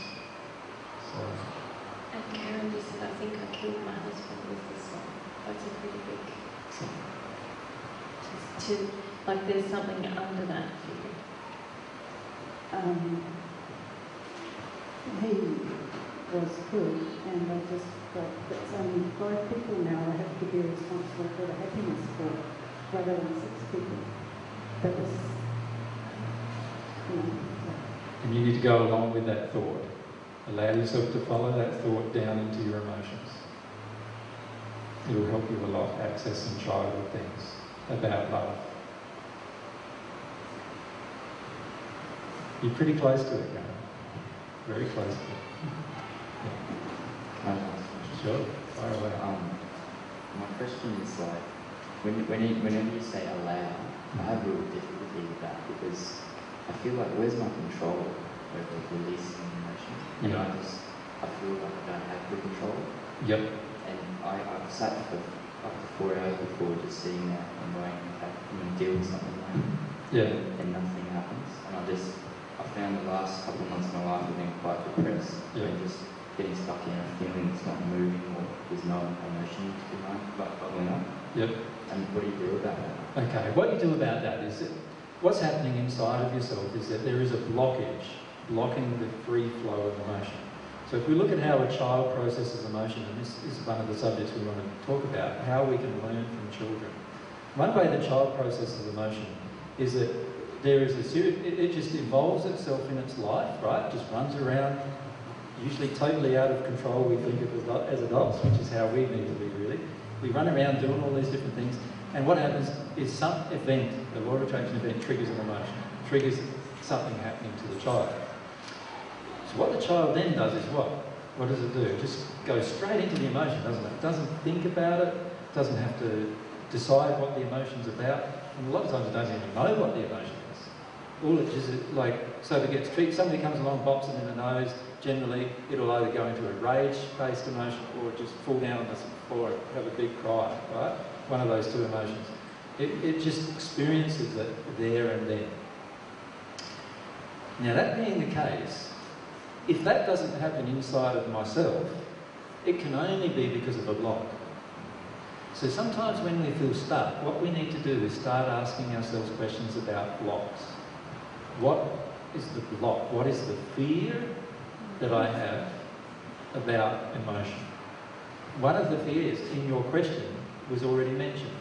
You have a fear of control or being out of control, in fact. That's one of the fears.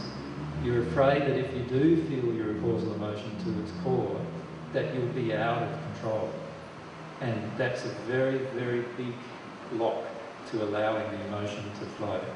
So rather than addressing the, the emotion, do you follow me? Allow yourself to actually pray about and ponder about the blockage, which is the desire to control, desire to control the process. Ask yourself questions like, why do I want to control the process? What's going to happen to me? What am I afraid of if I don't control this process? Does that make sense? Ask yourself those questions. I've, I've often thought it could be, like, I don't know if anyone else has this, but just from past spiritual practices and having a way of, I don't know if everyone, if anyone's got into becoming consciousness and not really, you know, just sort of merging with life and being in this blissful state.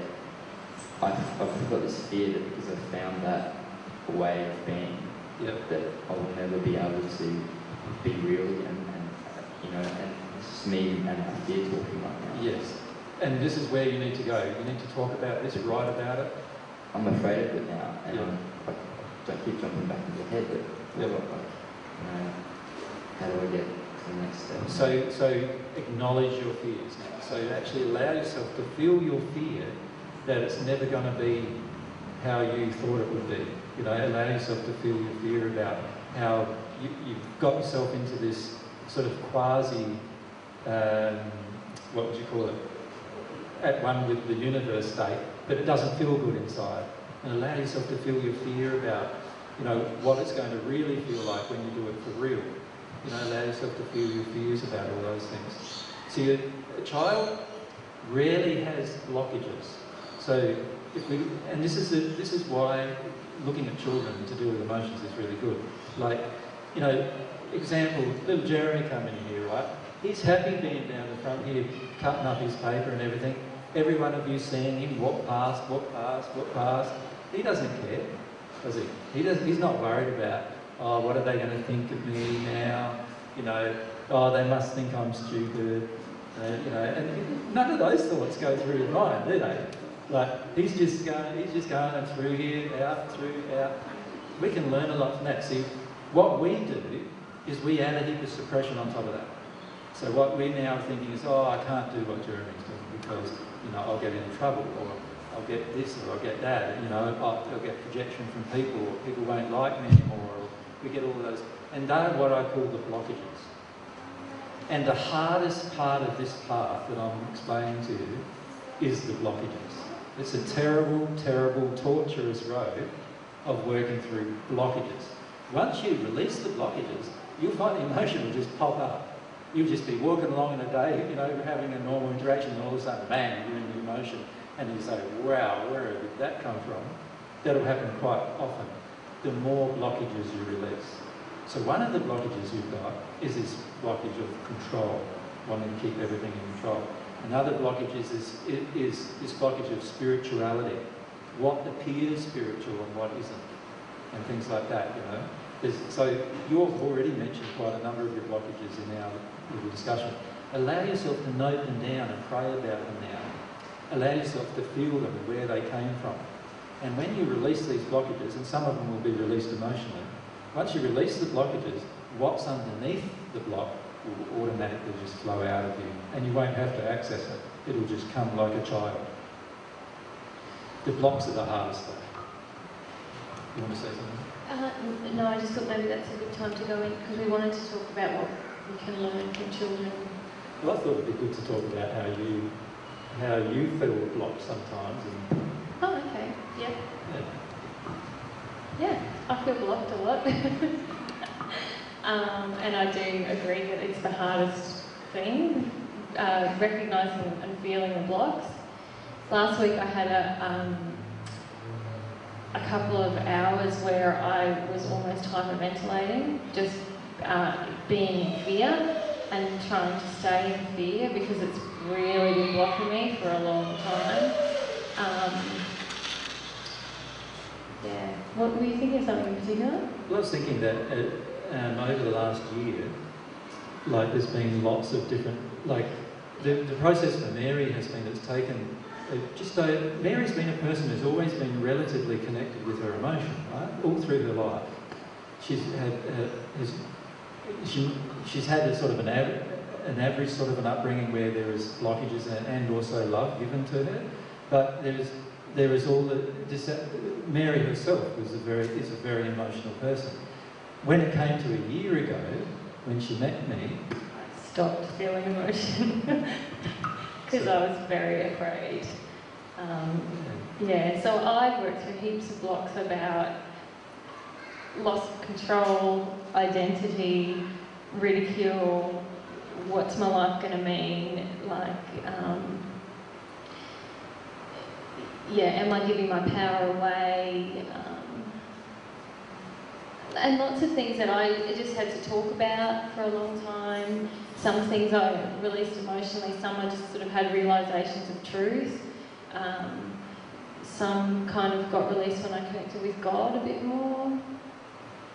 Yeah, so, so that whole period of time of, uh, of just over a year, or just about a year, Mary was dealing with blockages, but feeling very, very frustrated connecting with emotion. So where did they look? Yeah, I felt like I couldn't cry anymore. I was like, what is wrong with me? I used to cry at TV ads, and now I can't cry. and I really thought, and it really did. T- it took almost a year for me to properly connect with causal emotion.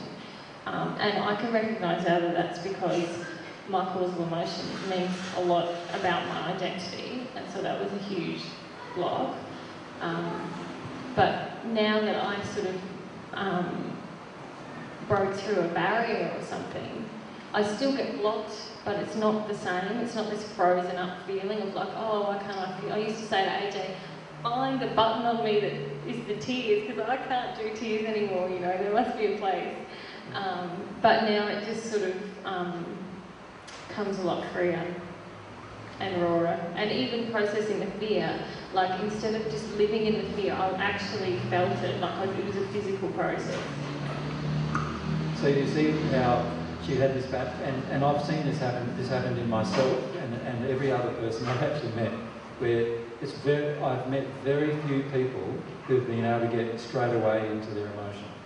Most of the time, they've had a year of blockages to undo, and then they start getting into some causal emotion.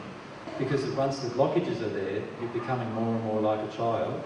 Once the blockages are gone, and then the emotion just pops up. And so I felt the change in Mary when she, she, she went from, from finding every emotion very difficult to actually desiring every emotion. And there was a switch that happened probably only maybe six to eight weeks ago, uh, that where she made a switch from, from still trying to fight every emotion, control every emotion, into actually now desiring every emotion. So perhaps using the word allow isn't the right word. Perhaps the right word is really desire. Um, to actually get to a point where you desire all of your emotion. And when you get to that point, and that's about releasing all of these blockages that were piled on you from the moment you were born or even the moment you were conceived onwards. It's about releasing those. When you release those, all of the emotions flow really quite rapidly after that. I, it was also about releasing judgment about emotion. Like before, I would be so afraid of the emotion. I think, oh, if I have this emotion, I'm a bad person. This is me, I am this emotion. And now it sort of feels more like like a voyage of discovery. Like, oh, I've got that in me. Oh, okay. Oh, let's get that out. Sort of different. Yeah. So instead of seeing everything like a pain, you see everything like a pleasure. Uh, like every new thing you discover about yourself feels good to discover, even even if you before used to judge it as bad. So like it's like yourself saying to yourself, "Oh boy, I'm a sexual deviant actually." wow, I didn't know that about myself before. you know what I mean? Let let's deal with that. You know. Uh, rather than going, oh, you know, and, and every sexual deviant that comes into your path getting angry with them and all that kind of stuff, which is all the avoidance happening. So, you know, look at every discovery of yourself as a, as a wonderful thing. And, uh, and things will start flowing as well. But allow, you, you're, you're dealing, um, like you are dealing with your blocks. You, you're just feeling like, you know, the causal isn't happening and so you're feeling quite despondent. The key is to not, you don't need to be that despondent. Of course, if there's an emotion under it, go for that. But, but you need to see that you are actually pro- progressing the feelings that I get from you now are far less, there's far less resistance in you uh, than there was before. You, have got rid of a blockage about, about God. You know, is there really a God?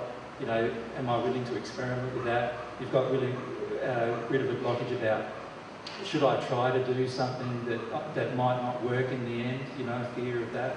So there's quite a few blockages, which are all childhood blockages that you've already got rid of that you can feel it gone. So you, you are progressing. It's just that it's just that that causal emotion will flow when some, when more of those blockages get released. That, I know a lot of you probably had that question, so that's why I spent a bit of time on that. Is that understandable to everyone? What's going on there?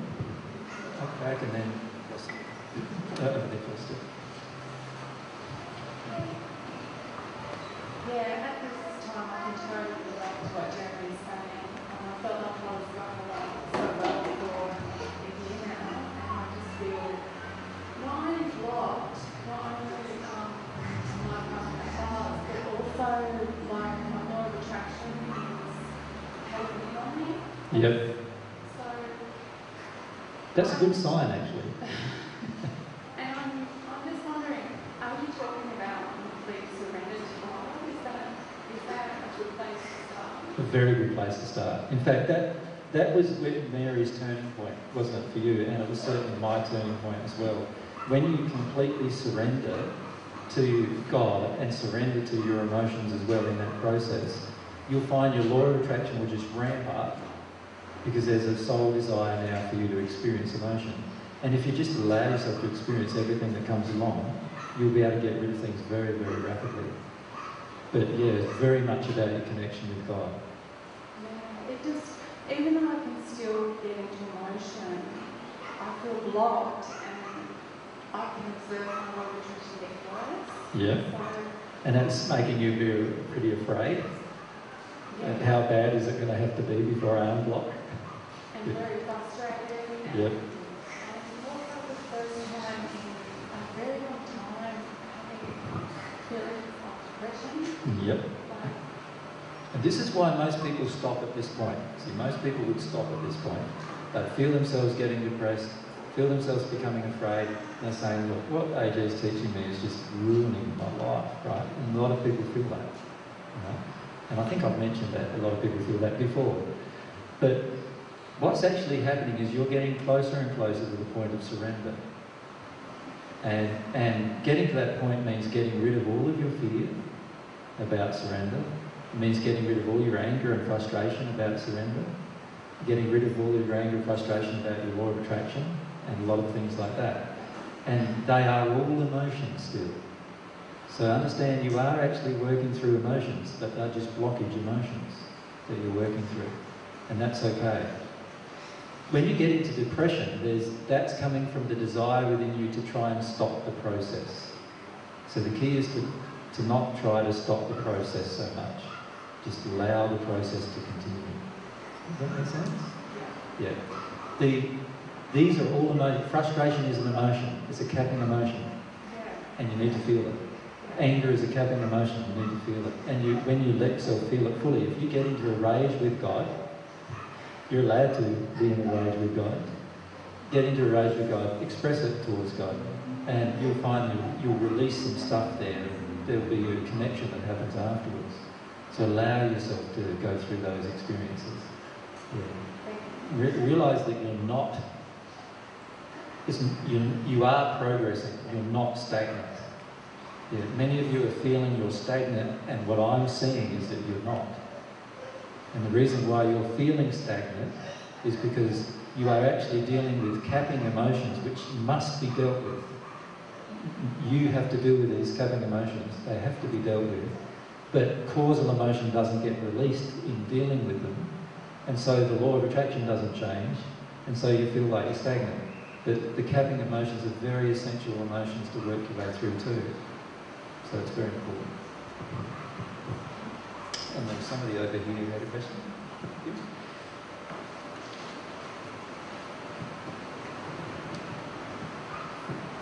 Um, just, actually have a ability to make scenarios up in my childhood that didn't happen. Yep. My say and family members happened, my sisters say no, that didn't actually happen. And Yep. I've got blanks in my childhood. Yep. I mean, obviously it's a big blockage, but how do you actually work through that when your childhood something that's fantasized? And a child only, or an adult, only creates fantasy because they don't want to face reality. So I need to work through those emotions You need to ask yourself, why are you creating fantasies? What are you afraid of? So it'll be back to some major fears that you have about reality of your childhood. And we, what happens with a lot of children, and it's a very clever thing we do as a child, to get away from emotion, what we do is we create an altered reality in our own mind, and we then live in that reality. This often happens in abusive uh, families and abusive chil- uh, in, in abusive childhoods.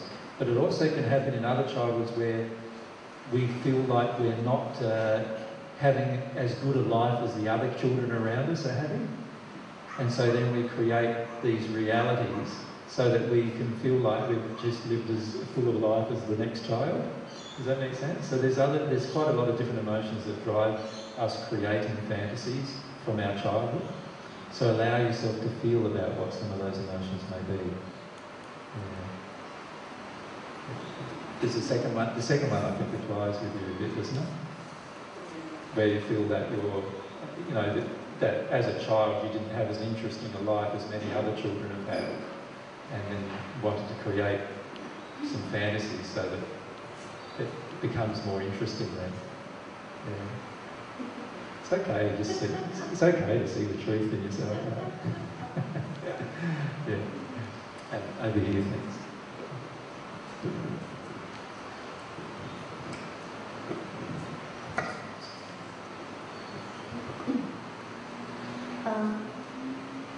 Everyone's sort of touched on everything I want to ask as well, but I just want to add to it. I just feel really blocked in guilt about being a parent. And I feel like I've been guilty for my son's whole 13 years. And he's still guilty at the moment. Yes. Um, I feel like I just I put everything onto him that's my stuff, which probably have. And he's really throwing back the law of attraction I think really heavily at the moment. He's quite angry with you at the moment. Yeah, and he's showing me that, and I know inside me that it's my own.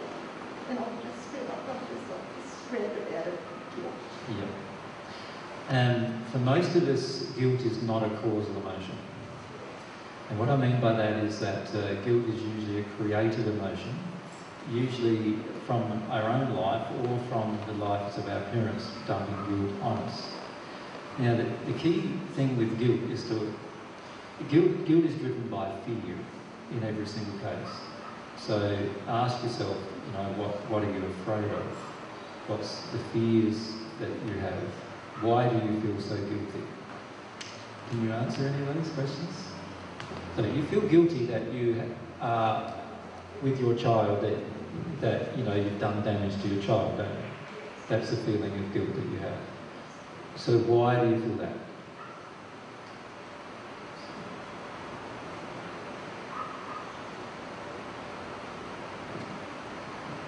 I just want to be a good parent and do the best that I can for him. Okay, so you actually feel you're a bad parent. Yeah. Okay. And now, why would you feel like you're a bad parent?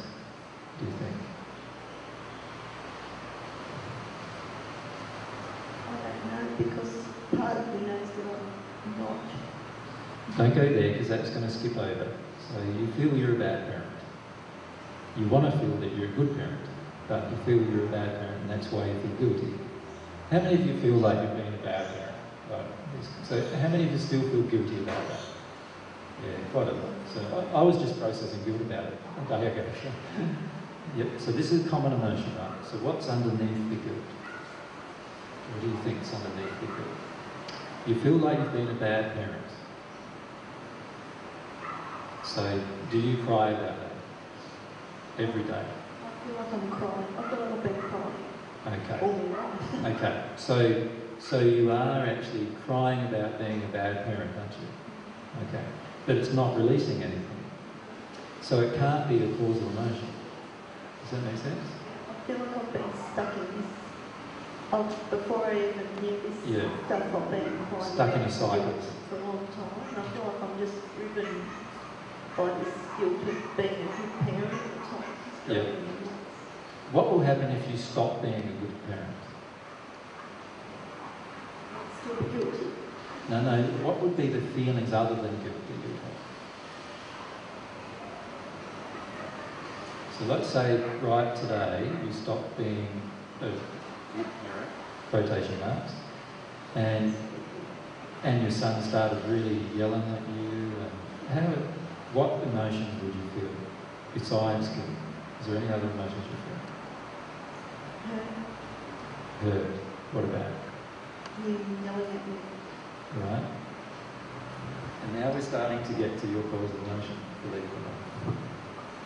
So why do you do things for your son when he yells at you?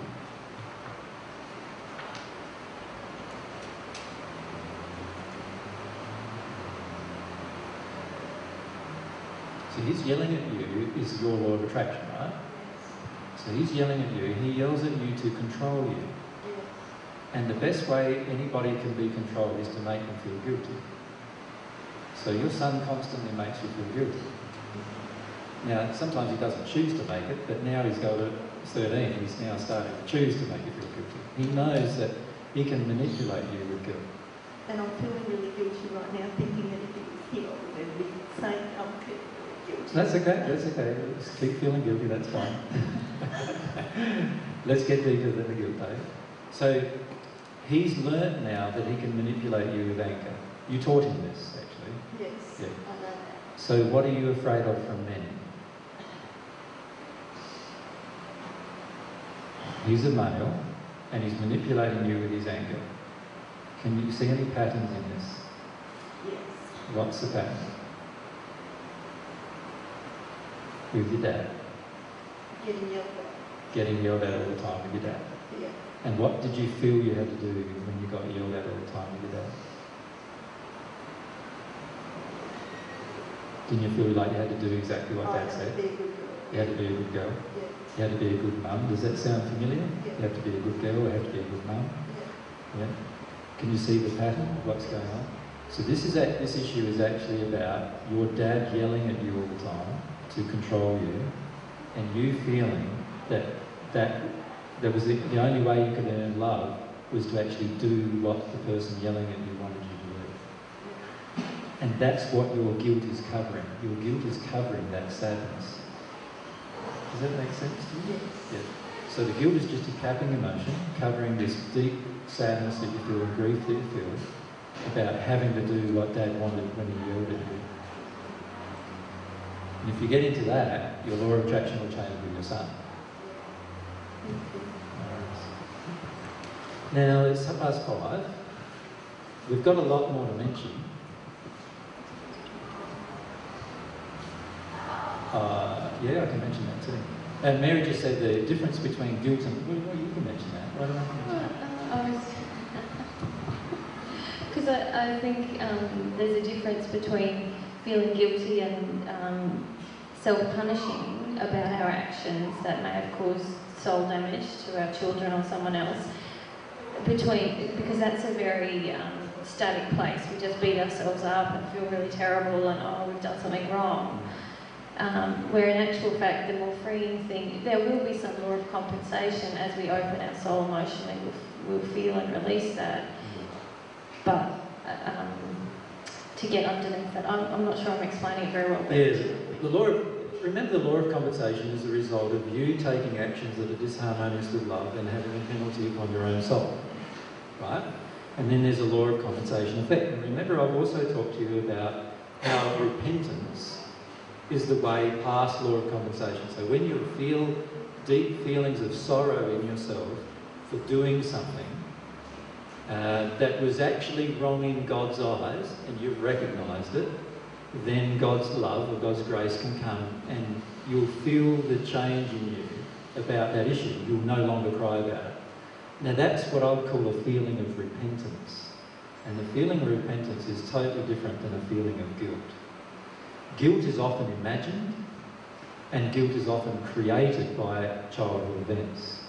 So, what's happening with yourself, for example, is you're in this cycle of guilt. You can't get out of guilt. Guilt is a fear, and, and so it's in this cycle of fear, really. You can't get out of it. That is not the same as the law of compensation, and that is not the same as repentance. Because true repentance results in immediate cleansing or immediate response from God. You follow me? True repentance actually causes an immediate action upon the soul from God's love entering it. So therefore you won't cycle over guilt all over and over, over and over and over and over and over again. Guilt is something that covers a deeper emotion. And it usually is a deeper emotion we don't want to feel. And in your case, the emotion you don't want to feel is the emotion of how unloved you've been from your father. And instead of feeling that emotion, which is going to be quite a, like, it's going to have a lot of different parts to it when you feel it. Instead of feeling that emotion, you prefer guilt. Because guilt means you don't have to feel that emotion. Does that make sense? Guilt means you can try harder to not feel that emotion. And the reason I cover it is because he was beautiful and I had really good upbringing. I don't want to, I feel guilty every time I think of that. You mean your dad was beautiful? Yeah, and so even though he yelled at me, Yep. Even though he yelled at me, I still feel, every time I get to that point, I feel guilty for thinking that he does something wrong to me. Well, the truth is he did do something wrong to you, and the truth is he wasn't beautiful. Now, I know that sounds quite blunt, but a, but a, but a parent who's yelling at a child constantly to control them is a very unloving parent. Now, they may think they're loving, and they may look beautiful, but there's some major issues in the parent doing that to a child. So, so that is not loving, and that's not beautiful, and you don't want to face that. You don't want to say that to yourself. Because if you say that to yourself, all of these emotions will be unlocked inside of you that you don't want to feel. And a very good uh, book to read um, as parents, but also uh, with children to read, is called Toxic Parents. Um, now, do you remember James, who was the writer of that? You'll be able to find it on the net. It's called Toxic Parents Healing the Shame of childhood something, trauma or something like that. We'll, we'll bring the title along tomorrow with us. But that book was written, I think, in the 60s or 70s by a, by a woman who was very bluntly truthful. It's a really good book to read.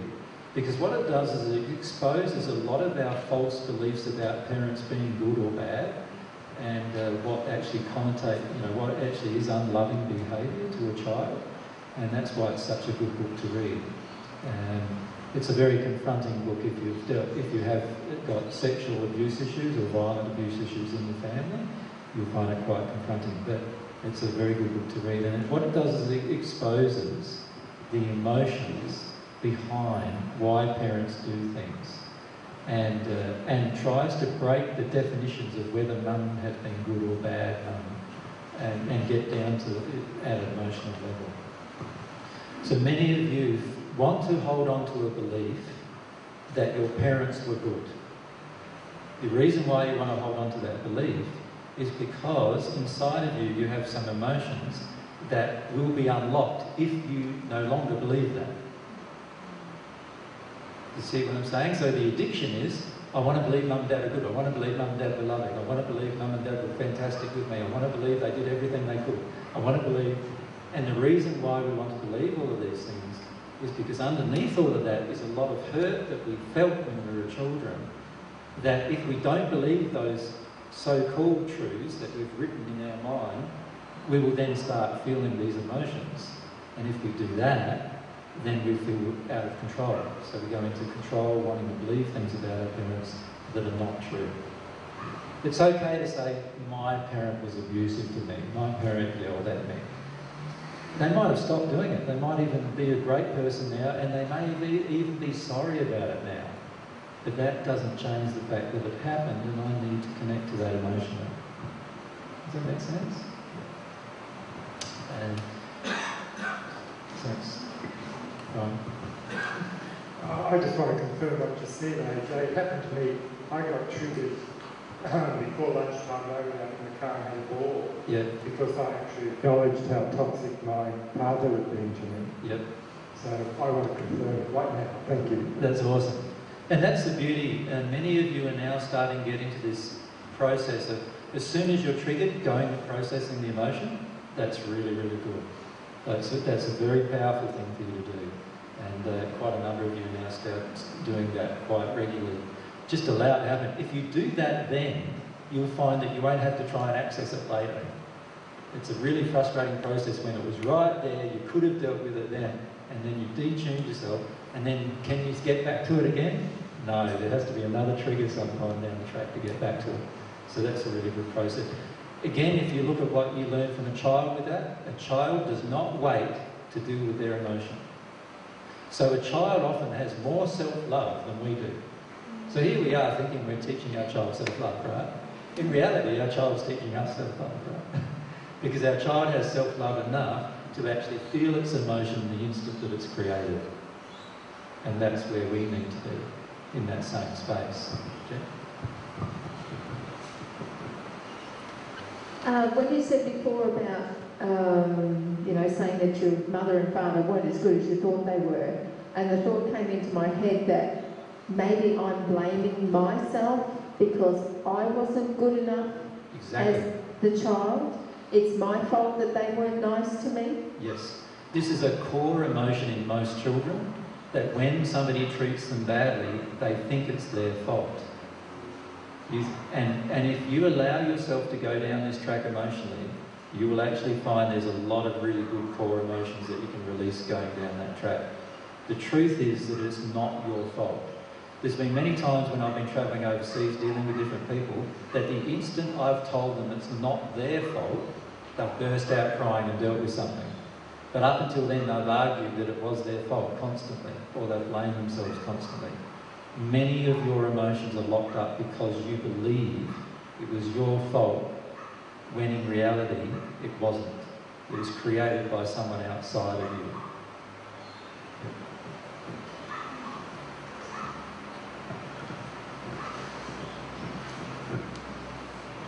Um, this is just a, general question that I found myself in that when I start something like parenting and then I'll go, um, I feel bad about my daughter, but then I'll go straight into, well, my mother was really, and both parents were terrible to me.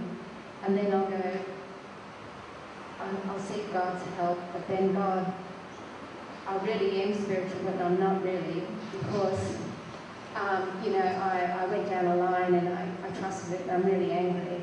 And then I'll go to God, uh, but I don't really believe in you, God. And then, and I'm going through these emotions and I'm finding myself, seriously, you know, each time it's something, it'll all connect up because then I'll say, oh, you're obviously not worthy. And then you'll go to, and it's just like this whole mash of emotions and, and I don't know how to take one Yeah. or any of it to go any further because it keeps me at any time I'll just go and connect to another one and another one. Yeah. And I could feel all of it but none of it, if you know what I mean. Certainly. How many of you felt that? Like, yeah, quite a lot. So that's really good you bringing up the question. The, the issue is that we, when we go from one jump from one to another to another to another, it's because we don't want to experience the one that we're on. Do you follow me? So, so let's say an emotion comes up firstly, oh, I'm a being a bad parent. Then all of a sudden I jump to, oh, I hate God. And then all of a sudden I jump to other emotions. What's actually happening is I'm trying to get away from the previous one all the time. And that's why another one comes up. But there's a soul longing that you want to deal with your emotions. Right? So the best thing I've found for that myself is that what I try to do is just, I allow whatever is triggered in that moment to be experienced in full. And as soon as some other interruption comes, even from my own mind, I always bring myself back to the same thing that I did right at the start. So I don't even go to the second discussion. Does that make sense? I don't even move. The first one was the first one that came up today, this morning was whatever it was. Like so, I might have had a dream this morning. The first thing that came up this morning, I woke up and I was in fear.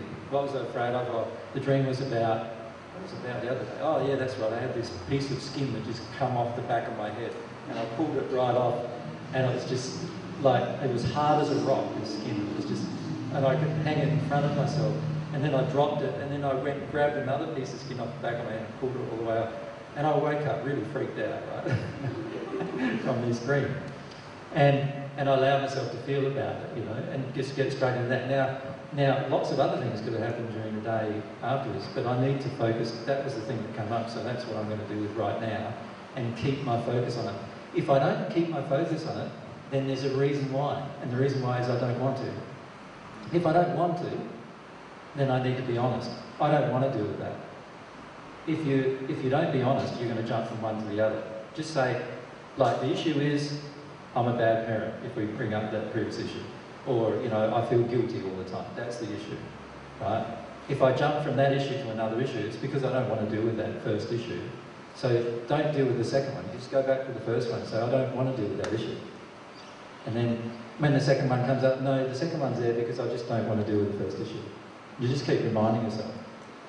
This there, that's there because I don't want to deal with this issue. That's there because I don't want to deal with this issue. And what will happen is I'm allowed to not deal with issue, eh, that issue. And as you start feeling that, ironically, you start connecting to the issue generally. It's, it's acknowledging that you don't want to that will enable you to stay on one place. At the moment, you're not acknowledging that you don't want to deal with that. So you go to the next one, and then the next one, and then the next one. And then you end up with this whole mental intellectual confused mess. And then you think, well, what the hell, I can't do with anything now. Might as well go and have a cup of tea. yeah.